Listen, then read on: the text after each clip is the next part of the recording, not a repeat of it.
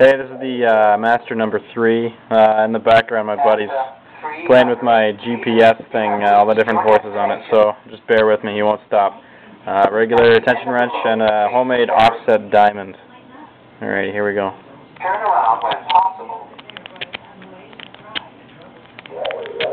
There it is. Open.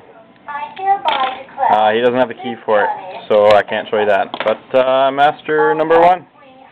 Thanks for.